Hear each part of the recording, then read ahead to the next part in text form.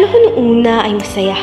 Itong lockdown na ating tinatamasa, nagtatatalo, nagsisisigaw, di maitago ang saya nung malamang dalawang linggo na mawawalan ng klase sa eskwela. Ngunit di ko naman akalain na ang dalawang linggo ay aabot ng dalawang taon. At heto ako ngayon sumasabay sa agos ng makabagong panahon. Hatid ng COVID-19 ang malawakang pandemya walang duda. Pag-aaral ngayong panahon ng pandemya, madali sa iba, mahirap sa karamihan. Ngunit nagsusumikap para sa ating kinabukasan.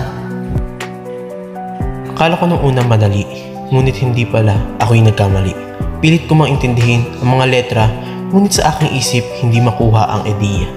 Pilit humahanap ng sagot sa katanungang hindi ba pwedeng ipagpaliban?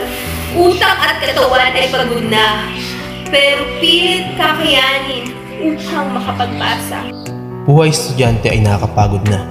Magpahinga lang saglit, sa pag-aaral ay babalik na. Sabi ng katawan ko tigil na, magpahinga ka muna. Ngunit sabi ng isipan ko wag muna, baka hindi ka pumasa. Sa ating makabagong panahon, nasusubok ang pagiging matatag ng isang estudyante. Eyebags man ay lumalaki, ang importante ay magpursigi.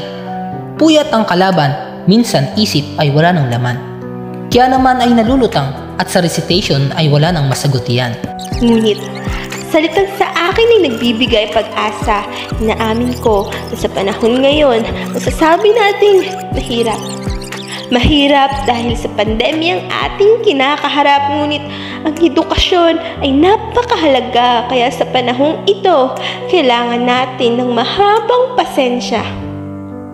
Kaya manalig tayo sa Diyos dahil ito ay ating makakaya.